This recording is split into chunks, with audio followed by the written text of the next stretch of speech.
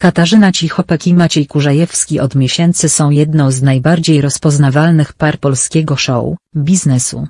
Po ogłoszeniu przez aktorkę rozstania z ojcem swoich dzieci, życie prywatne pary stało się tematem szeroko komentowanym przez media. Ostatnio pojawiły się plotki sugerujące, że Katarzyna Cichopek może być w ciąży.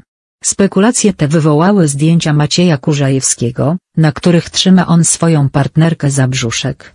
Choć fani zaczęli rozważać tę możliwość, sama para nie skomentowała tych rewelacji publicznie. Wcześniej, kontrowersje wokół życia prywatnego pary narosły po wyznaniach Pauliny Smaszcz, która publicznie opowiadała o rodzinnych sprawach. Marcin Hakiel, mąż Katarzyny Cichopek, początkowo unikał włączania się do tego zamieszania, ale w końcu także zaczął zabierać głos w mediach.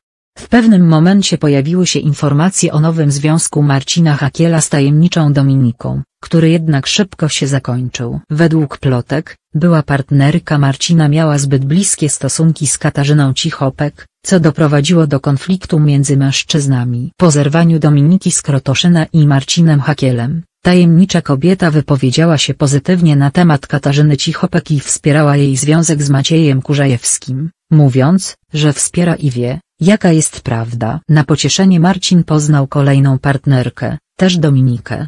Ich relacja rozwijała się szybko, a obecnie występują razem na Instagramie i pojawili się publicznie jako para. W kontekście tego nowego związku wielu zastanawia się, czy Dominika, nowa wybranka Marcina Hakiel, podzieli pozytywne relacje z Katarzyną Cichopek, jego byłą partnerką. Według źródeł z bliskiego otoczenia Katarzyny Cichopek, aktorka jest gotowa wesprzeć dobrą relację między Marcinem Hakielem a jego nową partnerką. Podobnie jak to miało miejsce w przypadku poprzedniej partnerki Marcina. Katarzyna zależy na dobrych stosunkach z ojcem swoich dzieci i na jego szczęściu, dlatego będzie kibicować tej relacji. Niespodziewanie Marcin Hakiel postanowił wyjaśnić swoją aktualną relację z matką swoich dzieci w wywiadzie.